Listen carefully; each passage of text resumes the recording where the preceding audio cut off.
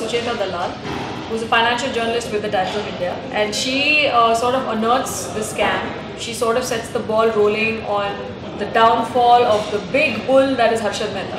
The character that I'm playing is a total hero. I don't. You can call it heroine, you can call it hero, but yeah, she's the total hero. But it, because we're trying to show both uh, the sides of the coin, or both sides of the market, so to speak. One side you have Harshad Mehta, and one side you have Sucheta Dalal. Each one of them is trying to get the other person down. So it's uh, it's going to be damn interesting to see both sides.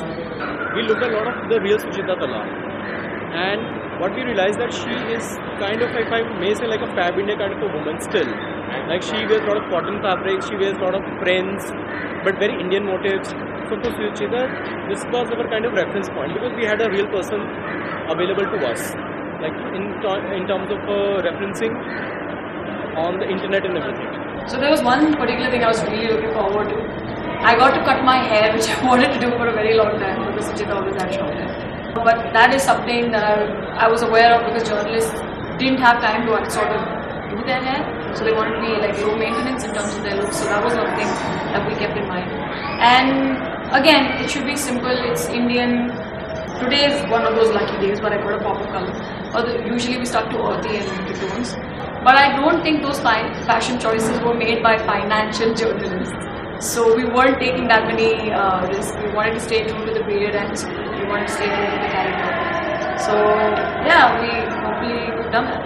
I uh, honestly, when I got this uh, script, couldn't understand 90% of it.